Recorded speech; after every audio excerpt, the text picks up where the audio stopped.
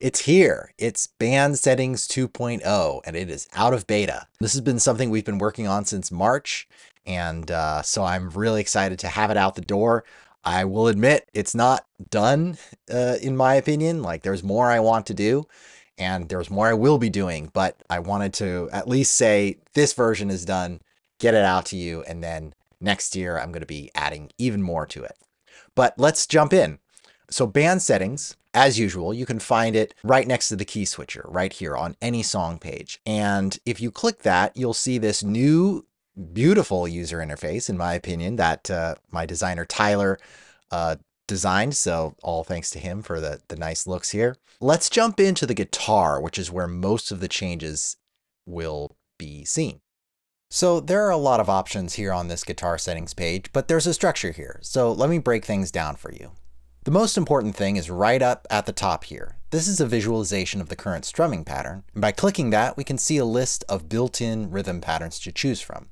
And they're grouped by the overall pattern or style. So these styles right here, they all use the boom chuck with upstrokes pattern, just customized in different ways. Below that, we've got a syncopated strumming pattern here, dampened strums for jazz and swing, which have some new customization options as well. And then the Celtic and halftime strums are the same as before. Haven't had a chance to update those yet, but I will be doing that as well as uh, adding completely new styles of strumming. But let's pick one of these um, bluegrass uh, strumming patterns and we can hit listen up here, hear how it sounds, and then click through, see what we want.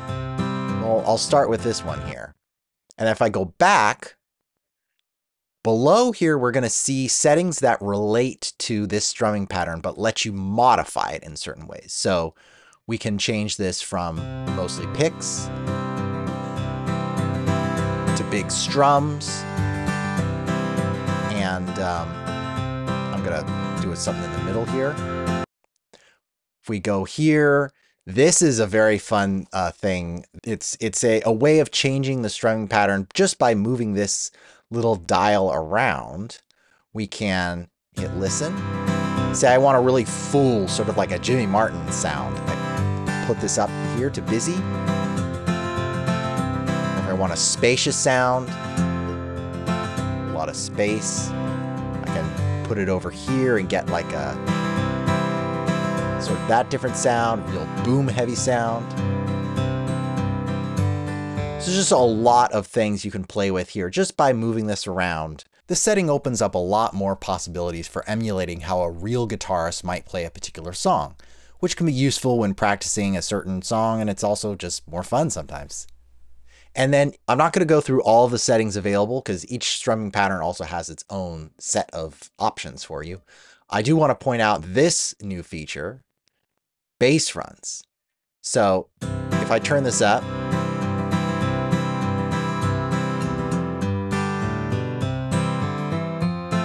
plays automatic bass runs. I can do eighth notes for quicker runs. So this was super fun to make and uh, I hope you enjoy that. Uh, one thing I will point out that before you used to be able to change the volume up here, that has moved down to the bottom here, volume and pan. And these controls only affect the current song. So you can jump right in here if you want to have this particular song have certain volume or pan. I'm going to reset that. Let's just say you want to change the volume overall for, for all songs. You just, you want a quieter guitar because you practice guitar and you want to hear more mandolin and bass instead. What you would do, there's a link to it here, open global volume pan mixer. That will open the global settings. But I will tell you that the easier way to get to here is to go to the menu on the song page and then audio mix. And you'll have all of these volume controls for each instrument and the pan controls. And this applies to all songs globally, as we say. All right, so I want to point that out. Let's go back to band settings. And let's say you've dialed in your, your guitar just how you like. And maybe you've dialed in uh, the bass. There's not a lot yet you can do with the bass, although you can make it root only, which is kind of fun sometimes. And uh, mandolin, there's nothing you can do yet, but that's I'm going to be focusing on that soon. Let's say you like these settings and you want to save them for use in other songs. The easiest way is to go to, to this three dots menu here and say new preset from current settings. So this is example preset. Save. All right, now this will show up in the presets menu here. So anytime I want to make a song sound like this, I just go to presets and hit example preset here. And we've got a bunch of built-in presets, or a handful, I should say. These are the same ones from before. I have not had a chance to update these and expand the number of built-in presets, but that is something I will be doing in the future as well. So that's a quick overview of band settings 2.0. As I said, there's a lot in here, so explore, play around, have fun.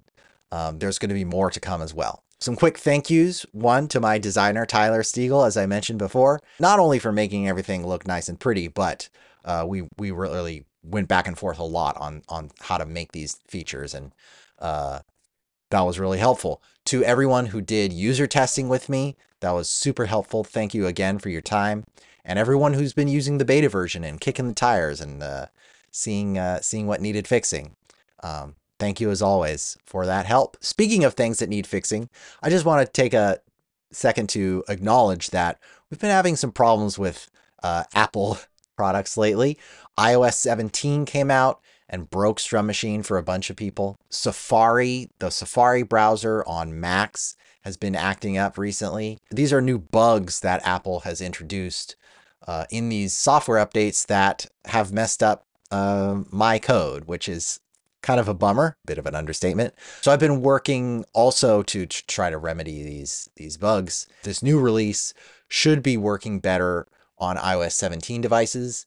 And if you're having problems on a Mac, there is a new downloadable version of Strum Machine for Mac and Windows and Linux. And you can download that and um, that will not use your browser. You'll be using just a standalone app and hopefully that will sidestep any issues you might be having with the browser, in this case, Safari. And if you're still being affected by these issues, please write in and let us know because I'm I it's hard to tell how serious this issue is, how many people it's affecting. So hearing hearing from you really really um, helps me understand what's going on. So with that, I hope you enjoy the uh, band settings 2.0 release. Um, this will probably be the last big update for 2023. I mean, it will definitely be the last update for 2023. I'm going to be mostly working on stuff behind the scenes for the next few weeks. And, uh, then in 2024, I've got a lot of uh, a lot of new exciting things planned, but I will tell you about them in another video at another time. So happy holidays to everyone. I hope you have a uh, very relaxing, enjoyable, safe uh, holiday season uh, with your friends and loved ones. And I will uh, talk to you soon. Bye.